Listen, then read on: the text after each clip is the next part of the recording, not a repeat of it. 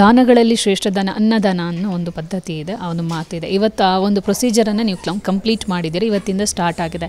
So ಒಂದಿಷ್ಟು ಮುಖಗಳ ಜೊತೆ ನೀವು ಮಾತಾಡಿದಾಗ, ಆ ಒಂದು ಅನ್ನ ಸಿಕ್ಕಿದಾಗ ಆ ಒಂದು ತೃಪ್ತಿ ಇರುತ್ತೆ. ಸೊ ನಿಮಗೆ ಅನಿಸಿದ್ದು ಸರ್, ಆ ಮುಖಗಳಿಂದ ಬಂದಂಥ ಭಾವನೆ? ನನಗೆ ಅಂದರೆ, ನನಗೆ ತೃಪ್ತಿಗಿಂತ ಹೆಚ್ಚಾಗಿ ಬರೀ ನೋವು ಅಷ್ಟೇ ಅಂದರೆ, ಹಿಂಗಿದೆಯಲ್ಲ ಸಿಚುಯೇಷನ್ ಅಂತಲೇ ನನಗೆ ಸ್ವಲ್ಪ ಅದೇ ತಲೆ ಒಡಗಿರಂತ ಓಡ್ತಾ ಇದೆ. ಅದು ಬಿಟ್ಟರೆ ನನಗೆ, ನಾವು ಮಾಡ್ತಿರೋದೇನು ತುಂಬ ದೊಡ್ಡ ಕೆಲಸ ಏನಲ್ಲ. ಆಮೇಲೆ ಅನ್ನ ಯಾರ್ದು ಅಲ್ಲ. ನಾವು ಅವ್ರ ಜೊತೆ ಹಂಚ್ಕೊಳ್ಳೋದಷ್ಟೇ ಖುಷಿಯಿಂದ. ಅದಕ್ಕೆ ಬಂದಿದ್ದೀವಿ ಅಷ್ಟೇ. ಬೇರೆ ಏನೂ ಇಲ್ಲ. ಇದನ್ನು ಮಾಡ್ತಾ ಇರೋ ಉದ್ದೇಶ ಒಂದು ನೆನಪು ಇದೆ ಅಂತೇಳಿ. ನೀವು ಸಂಚಾರಿ ವಿಜಯ್ ಸರ್ ತುಂಬ ಆಪ್ತರು. ಸೊ ಅವರ ನೆನಪಿನಲ್ಲಿ ಇಟ್ಕೊಂಡೇ ಈ ಒಂದು ಕಾರ್ಯವನ್ನು ಮಾಡ್ತಾ ಇದ್ದೀರಿ ಅನ್ನೋ ಒಂದು ಮಾತು ಕೂಡ ಹರಿತಾ ಇರ್ತಾ ಇದೆ. ಅಲ್ಲ ಸಂಚಾರಿ ವಿಜಯ್ ಅವ್ರದ್ದು ಅಂತಲ್ಲ ಇದು ಪೆಟ್ರೋಮ್ಯಾಕ್ಸಲ್ಲಿ ಬಂದು ಈ ಕನೆಕ್ಷನ್ ಮಾಡ್ತಾ ಇರೋದೇ ನಾವು ಪೆಟ್ರೋಮ್ಯಾಕ್ಸಲ್ಲಿ ನಾನು ಅನಾಥ ಹುಡುಗ. ಅನಾಥಾಶ್ರಮದಲ್ಲಿ ಇರ್ತೀನಿ. ಹಾಗಾಗಿ ಆ ಕನೆಕ್ಷನ್ನು ಮತ್ತು ಈ ಕನೆಕ್ಷನ್ ಎರಡು ಸೇರಿಸ್ತಾ ಇದ್ದೀವಿ. ಆಮೇಲೆ ಎಲ್ಲರೂ ವಯಸ್ಸಾದವರು, ನಮ್ಮ ತಾಯಿ ಸಮಾನರು, ತಂದೆ ಸಮಾನರು ಇದ್ದಾರೆ, ತುಂಬ ಜನ.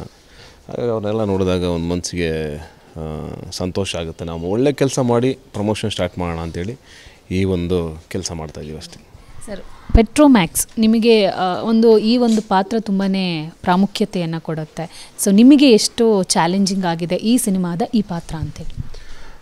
ಪಾತ್ರ ಚಾಲೆಂಜಿಂಗ್ ಅನ್ನೋದಕ್ಕಿಂತ ನನಗೇನು ಪಾತ್ರ ವಿಜಯಪ್ರಸಾದ್ ವಿಜಯ್ ಪ್ರಸಾದ್ ಅವ್ರು ನೀಟಾಗಿ ಬರ್ಕೊಂಡಿದ್ರು ಹಿಂಗೆ ಆಗ್ಬೇಕು ಹಿಂಗೆ ಆಗಬೇಕು ಅವ್ರು ಕಡ್ಡಿ ತುಂಡು ಮಾಡ್ದಂಗೆ ಬರ್ಕೊಂಡಿರ್ತಾರೆ ಅದು ಬರ್ಕೊಂಡಿದ್ರು. ಚಾಲೆಂಜಿಂಗ್ ಅನ್ನೋದಕ್ಕಿಂತ ಭಾಳ ಖುಷಿಯಾಗಿ ಲೀಲಾಜಾಲವಾಗಿ ಲವಲವಿಕೆಯಿಂದ ಮಾಡ್ಕೊಂಡು ಹೋಗಿದ್ದೀವಿ ಹ್ಯೂಮರ್ ಆಗಿರೋದ್ರಿಂದ ಅಷ್ಟೇ ನನಗೆ ತುಂಬ ಚಾಲೆಂಜಿಂಗ್ ಆಗಿ ಏನೋ ಆಯಿತು ಅಂತ ಅನ್ನೋ ಥರ ಎಲ್ಲ ಎಫರ್ಟ್ ಇತ್ತು. ಅಂದರೆ ತುಂಬ ಎಫರ್ಟ್ ಕೇಳ್ತಾ ಇತ್ತು. ಆ, ಬೆಳಗ್ಗೆಯಿಂದ ಸಂಜೆವರೆಗೂ ಅವ್ರ ಜೊತೆ ಕೆಲಸ ಮಾಡೋದೇ ಒಂಥರ ಬೇರೆ ಅನುಭವ ಒಂಥರ ಅವರೇ ಒಂದು ಅವ್ರದ್ದೇ ಒಂದು ಯೂನಿವರ್ಸಿಟಿ ಥರ.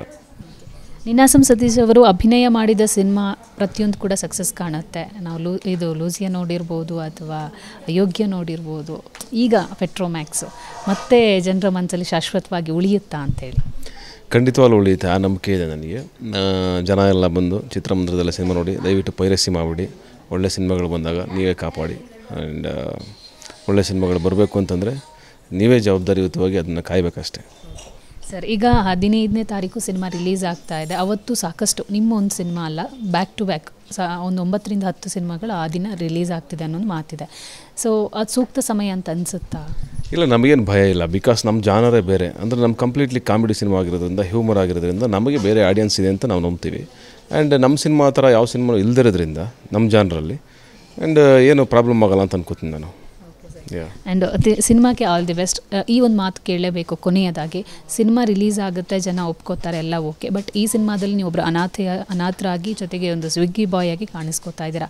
ಮುಂದಿನ ನಿಮ್ಮ ನಡೆ ಸಾಮಾಜಿಕ ಕೆಲಸ ಮಾಡ್ತೀರಾ ಹೇಗೆ ಅಂತೇಳಿ ಅಲ್ಲ ಅದು ಬದುಕಿರೋರ್ಗೂ ಮಾಡ್ತಾ ಇದ್ದೀನಿ. ನನ್ನ ಕೈಲಿ ಎಷ್ಟಾಗುತ್ತೋ ಯಾವ ಮುಖಾಂತರ ಆಗುತ್ತೋ ಎಷ್ಟು ಸಾಧ್ಯ ಆಗುತ್ತೋ ಅಷ್ಟು ನನ್ನ ಕೈಲಿ ಖಂಡಿತವಾಗ್ಲೂ ಮಾಡ್ತಾ ಇರ್ತೀನಿ. Thank you and all the best ನೋಡಿದ್ರಲ್ಲ ವೀಕ್ಷಕರೇ ಇದು ನಿನಾಸ ಸತೀಶ್ ಅವರ ಮಾತಾಗಿತ್ತು. ಕ್ಯಾಮರಾ ಪರ್ಸನ್ ಸತೀಶ್ ಜೊತೆ Deepika Kasturi news twenty four